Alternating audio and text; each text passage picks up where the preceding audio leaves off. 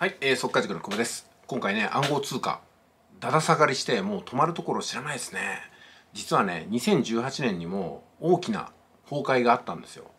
各国が同時に規制をかけたりとか金融緩和措置がぐっと引き締められたりとか、まあ、いろんな要因があってもう FX とかそれから株式とか先物とかそして暗号通貨も資金が引き上げられちゃっておいおいお金どこ行っちゃったの？っていう形だったんですよ。要するに資金が蒸発しちゃったんですよね。だからといってうん。住宅価格が上がってるわけでもないし金の価格が上がってるわけでもないしいわゆる金融というものが膨張したものが収縮に向かったんですよ。考えてみると金融の世界なんて超バーチャルですから、ね、国債をするかそれとも、まあ、徴税したりとか償還したりして消えるか。本当にね実物がない世界なんでこういうことが起きるんですよね。同時に暴落とかね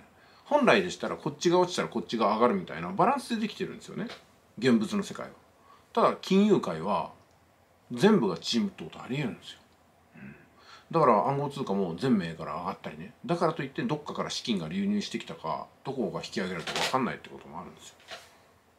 はっきり言って分かんないんですよね、ま、そういうことを2018年の1月16日多くの方が暴落の中に巻き込まれて私の方に問い合わせがねものすごく来ました。数百件来ました。その時にもういちいち対応してるのが間に合わないから一発の動画を出したんですよ。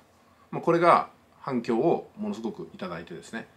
まあ、速稼塾に来ていただくことの大きな要因にもなったんですけども、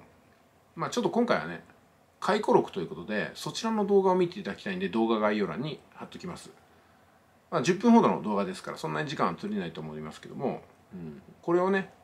今にも適用できるメッセージとしてちょっと聞いていただければまあいろいろと気持ちは落ち着くんじゃないかなと思います。まあ心中するつもりで投資の世界に入ってるわけですからガタつくなっていうことなんですよね。それでは失礼します。